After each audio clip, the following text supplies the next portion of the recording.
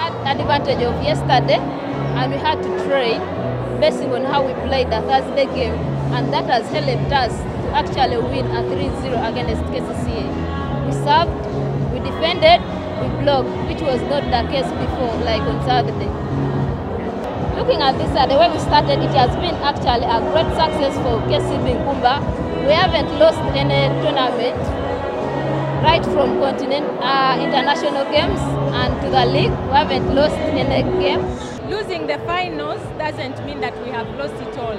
Uh, because first of all, at the beginning of the season, our main target was to get to the semi-finals after a, ve a very long time, to get to the playoffs, which we achieved.